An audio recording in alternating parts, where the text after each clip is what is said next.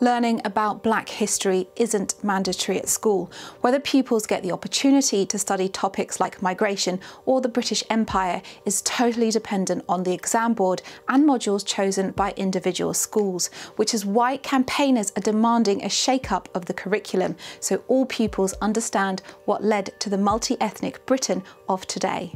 What black history subjects could be taught? The Bristol bus boycotts. The Bristol boycotts happened in 1963 as a result of the Bristol Omnibus Company prohibiting black and Asian people from working as members of their bus crew. It lasted for four months until the company relented and allowed black and Asian people to work as members of their bus crew. We feel that the Bristol boycott is integral to learn about because it teaches the power of black activism and the show of black strength in the UK. Olive Morris.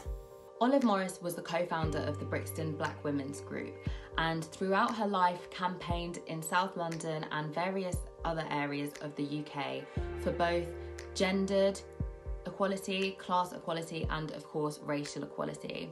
We feel that she's really important to learn about as she's a staple of black feminism and black British feminism in particular. Notting Hill Carnival.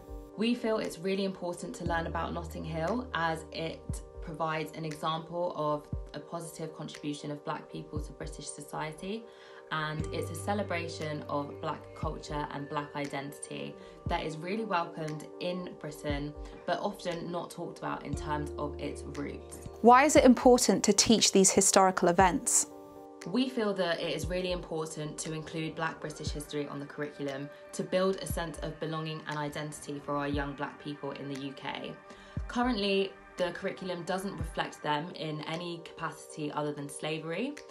And we feel that this definitely has a negative impact on esteem and the way young black people and students see themselves in the educational sphere. Campaigners have put together a syllabus for pupils across the UK aged 8 to 16.